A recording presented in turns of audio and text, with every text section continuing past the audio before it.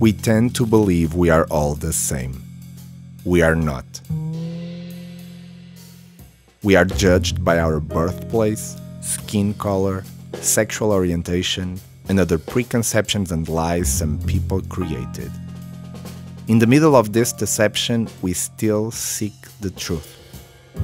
But the truth is subjective.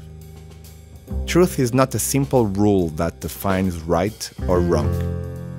It is more complicated. Sometimes, to find it, we need to bend the rules or break them. What is real? What is impossible? What do you believe?